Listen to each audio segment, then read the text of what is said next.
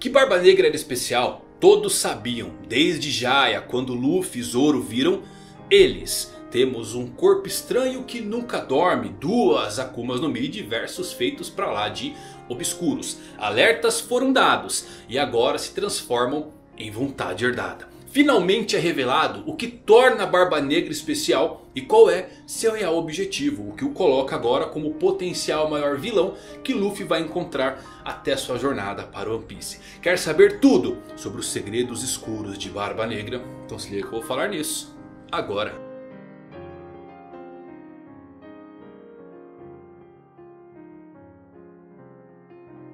Fala galera, Evandro Fusari com mais um vídeo pra vocês, como é que vocês estão? Tão bem, dá pra ver daqui, o olhinho tá brilhando aí. Que capítulo foi esse de One Piece, hein? Meus amigos, muita coisa legal. Finalmente revelada a vontade herdada do Barba Negra, sua linhagem especial, Sanji chutando lasers e o Zoro... Não vou nem falar para não arrumar confusão.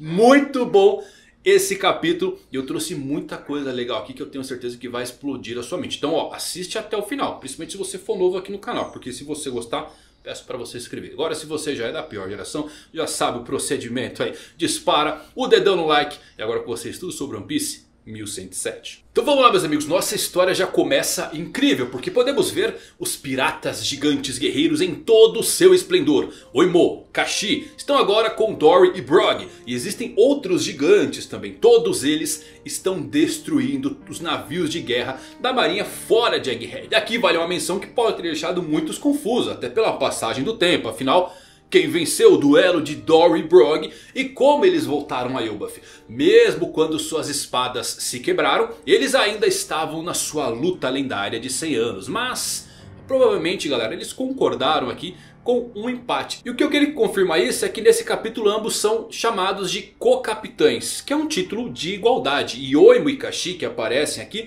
são bem importantes para o seu retorno. Porque esses dois guardiões dos portões de Enies Lobby estavam na verdade em uma missão que era achar os seus capitães. Dory e Brog. E eles descobriram o paradeiro das lendas graças ao Soap. Então foi assim que hoje conseguimos ver os piratas gigantes em todo o seu esplendor graças ao Soap.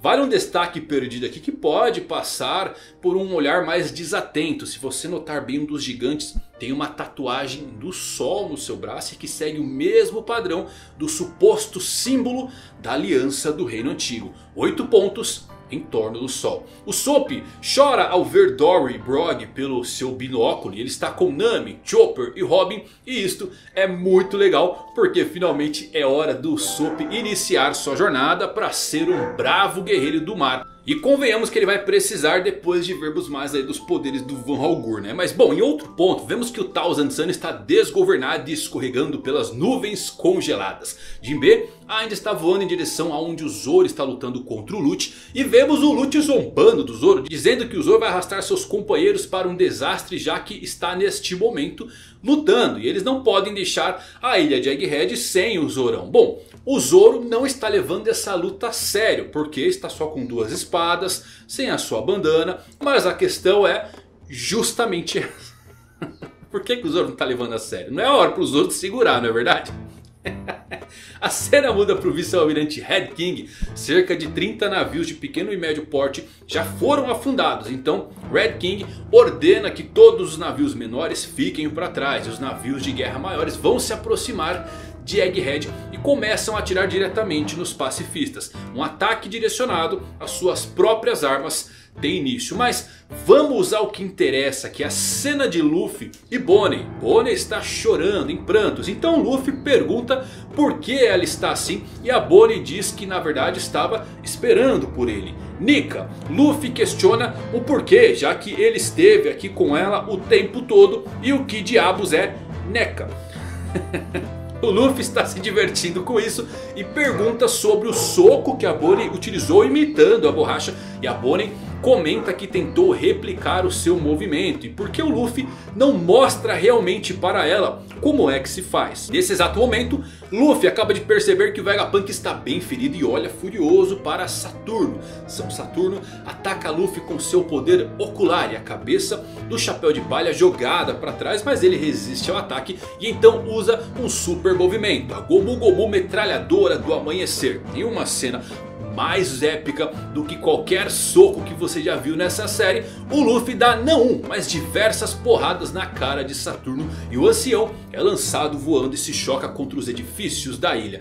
Definitivamente as melhores partes de One Piece são quando o Luffy não está nem aí para as coisas. Ele casualmente deu não mas uma metralhadora de socos mais que merecidos em Saturno. E isto só aumenta o hype para todo esse arco. Mas antes de respirar, Vegapunk pede para que todos partam sem ele porque ele está morrendo. Só que o Kizaru atira um raio laser tanto em Bonnie quanto em Vegapunk. E então Sanji entra na frente e o bloqueia, chutando o laser para longe. Kizaru faz uma cara de choque que nunca vimos antes. O Frank faz uma cara do Enel sem acreditar no que presenciou. Um raio laser acabou de ser chutado. E segundo Sanji, o amor brilha mais do que a luz. Os livros de física a partir de hoje deveriam ser reescritos e vamos lá meus amigos. Primeiro de tudo é notar aqui a sobrancelha do Sanji que está invertida novamente. O Oda definitivamente está insinuando que há uma conexão entre a mudança da sobrancelha do Sanji e as suas habilidades vindas diretamente do exoesqueleto da Germa. Inclusive ele respondeu isso em um SBS. Ou seja, parece algo que pode ser ativado para um nível superior. E por que, que o Kizaru e o Frank estão surpresos aqui com o feito do Sanji? Você também deveria estar tirando o chapéu para o que acabou de presenciar. Se vocês se lembrarem bem, no início do arco, Frank estava prestes a atirar em S-Shark com um laser e um dos Vegapunks disse para o Serafim desviar do golpe. Os Serafins ainda não tinham sido testados contra isso e ainda eram crianças. Mas lembre meus amigos, são Serafins, a maior arma já feita pela ciência. E é notório o Sanji dar uma bica em um laser aqui, algo que nem mesmo os Serafins talvez possam realmente tancar. Agora vem a questão, como o Sanji chutou esse laser. Embora o Sanji tenha Haki de armamento, porque o Kizaru ficaria surpreso se isso fosse possível. Afinal o Haki de armamento é bem comum nos mares. O Haki lhe dá a capacidade de interagir com o corpo original de uma pessoa que consumiu uma Logi e contornar o elemento. Mas o Kizaru lutou contra Rayleigh usando uma espada feita de luz. E essa espada fazia parte do corpo do Kizaru? Essa é a questão. Se sim, então os raios lasers do Kizaru também poderiam ser tratados como uma extensão do seu próprio corpo. E tanto Sanji quanto o Rayleigh utilizaram apenas Haki de armamento normal. Caso contrário, tanto Sanji quanto o Rayleigh interagiram com a luz da mesma forma que as luvas de Vegapunk. Curiosamente, o nome de Rayleigh vem de um fenômeno real do nosso mundo chamado dispersão de Rayleigh que é a dispersão da luz na atmosfera. E como as sobrancelhas do Sanji mudaram, então pode ter algo a ver com seus poderes da Germa. Porém, sendo um pouquinho mais pé no chão, quem sabe as suas botas também podem ter as mesmas habilidades que a luva de Atlas e com isso ele interage com a luz. É uma cena e tanto meus amigos. Se o Sanji chutou usando suas próprias habilidades, é sinal que ele está se aproximando do nível de Ben Beckman. E logo vai lutar usando apenas seu cigarro.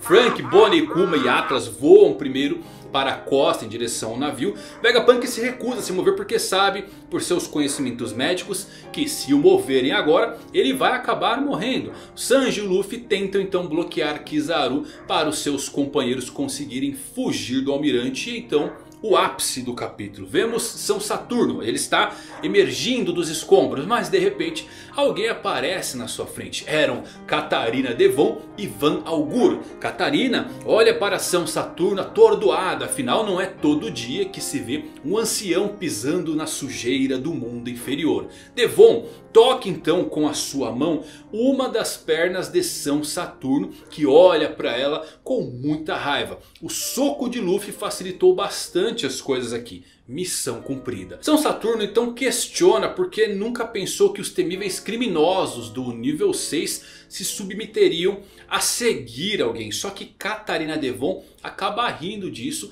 e responde que ela segue Tite porque ele é especial. E o Saturno completa dizendo que a sua linhagem também é. Saturno conhecia os segredos de Tite e questiona o que a sua tripulação buscava com essas ações tão estranhas. Qual é exatamente o objetivo de vocês? E em uníssono, Catarina Devon e Van Augur respondem. O mundo. Uau! São Saturno ataca, mas Van Augur teletransporta ele e Devon para longe dali. Vamos lá galera, o mundo. Isso aqui é a primeira vez que escutamos a declaração da vontade herdada de Zibek como sendo de fato do Barba Negra. Antes apenas ligávamos os pontos. Mas agora é preto no branco que o Barba Negra sim quer ser rei do mundo, seja lá o que isto signifique. Faz sentido que Van Algur possa estar também em ambos os lugares aqui devido à sua fruta do teletransporte. Pois a luta contra o Lau foi no dia anterior, mas ainda não sabemos onde está sabe quem? O Lafitte. A localização de todos os capitães titânicos é contabilizada, menos Lafitte. E Oda mais uma vez me surpreendeu ao colocar Van Algur aqui e não ele. E é engraçado que o primeiro tripulante do Barba Negra a surgir usando o poder de uma Akuma no Mi seja também o último membro a ter o seu nome de fruta revelado. Lafitte tem algo acontecendo aqui e eu não tenho certeza se até mesmo os piratas do Barba Negra sabem o que ele está fazendo. Lembrem, Lafitte se infiltrou lá em Marineford, conseguiu surpreender Mihawk e o Sengoku tudo isso para fazer do Barba Negra um senhor da guerra. Agora voltando um pouquinho no tempo, será que o Saturno sabe sobre a linhagem do Barba Negra por conta de Shanks, o Ruivo? Ele foi falar sobre um certo pirata, porque notem uma coisa aqui, o Saturno fala sobre linhagem, assim como falou do Kuma. Vale mencionar que Barba Negra tem uma idade muito próxima a God Valley. E qual é a linhagem que faz piratas perigosos do nível 6 respeitarem ele? Sabemos que Barba Negra tem algo muito esquisito desde já. E a referência deles quando Luffy e Zoro o conhecem. O corpo estranho comentado por Marco quando ele tirou os poderes Gura Gura de Edward Newgate. O ele nunca dorme dito e revelado lá no flashback de Oden por Shanks e Bug. Galera, isso não veio do nada. Sabemos que o Barba Negra era estranho. E o Oda agora está finalmente se aproximando do que realmente é. Pode ser os bucaneiros? Sim, faz bastante sentido. Só que ao mesmo ponto de tudo que o Kuma mostrou para nós na sua história de vida e que foi bem longa, não chegamos nem próximo dele replicar algo que o Barba Negra fez. O fato de não dormir, o fato de ter duas Akumas no Mi. Tem umas coisas mais estranhas aqui no Barba Negra que está indo um pouquinho além dos bucaneiros. Aí fica a dúvida se a sua linhagem está ligada diretamente a uma raça como a dos bucaneiros. Ou se é uma linhagem familiar e ele é filho de algum figurão importante. Vale mencionar né, que os Chichibukais foram clonados para os Serafins por meio de exames de sangue. E o Saturno é ministro da ciência. Ele pode ter visto algo ali no sangue do Tite quando ele se tornou um Chichibukai. Outra coisa, vamos falar aqui um pouquinho da fruta do Valgur que é bem quebrada, tá bom? Ele é o pirata Barba Negra mais útil de todos. A sua capacidade de escapar do perigo em qualquer lugar é simplesmente insana. E quanto ao objetivo de Devon e Augur na ilha, curiosamente ela diz missão cumprida após tocar o ancião. Mas pode envolver coisas a mais, como quem sabe pegar York e ter um Vegapunk com eles. Após isso, Devon e Van Augur estão se preparando para deixar Egghead em seu navio. Mas de repente surge ele, Caribou, chorando e implorando para os dois para que permitam que ele possa conhecer o lendário Barba Negra. Ele é o seu ídolo e Caribou quer muito trabalhar para Tite. Barba Negra é o real motivo pelo qual ele navegou como pirata. E uau, isso aqui é muito insano galera. Como Tite e Luffy são iguais e opostos, como bem ilustrado naquela cena da bebida e das tortas lá em Jaya. Mas não só isso, assim como Luffy agora tem Barto como fã, Barba Negra é revelado ter o Caribou. Isso é simplesmente genial. E agora finalmente temos também a comprovação de quem era a pessoa a quem ele queria contar as informações sobre as armas ancestrais. É o Barba Negra. E vale mencionar que no japonês original o Caribou ele usa exatamente as mesmas palavras para se referir a aquela pessoa das passagens anteriores e agora. Mas aqui ele usa uma forma mais educada. As falas dele conversando com os piratas Barba Negra mostram que ele tenta falar educadamente apesar de normalmente não falar assim. Caribou se juntar aos piratas Barba Negra conhecendo a localização de duas armas ancestrais acaba de incendiar as chamas de uma guerra futura. Porque o Caribou vai contar ao Tite sobre as armas ancestrais em Wano e na Ilha dos Homens Peixes. E eu consigo ver algo realmente grandioso se formando aqui. Eu acreditava um tempo atrás, até compartilhei com vocês que era algo até real. Né? Lembram quando saiu as três notícias da Reverie e teorizávamos que o Barba Negra disse que iria pegar alguma coisa antes da marinha. O que, que teorizávamos ser?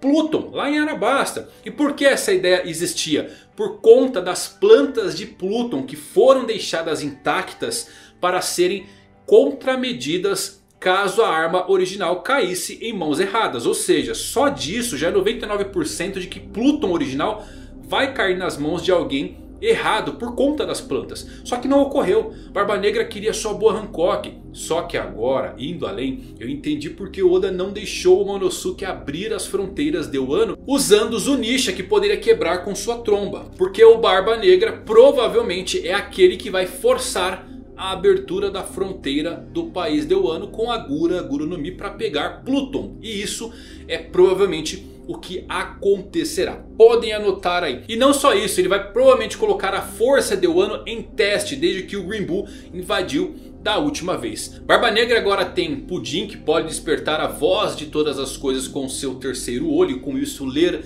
a escrita antiga. Ele tem três cópias dos Road Poneglyphs de Big Mom e os dois que pegou de Lau. Não bastando, ele agora tem conhecimento da localização de duas armas antigas. Ele nunca esteve tão próximo de Luffy no quesito igualdade. E o melhor de tudo, seus destinos se cruzaram, mas nunca se unirão.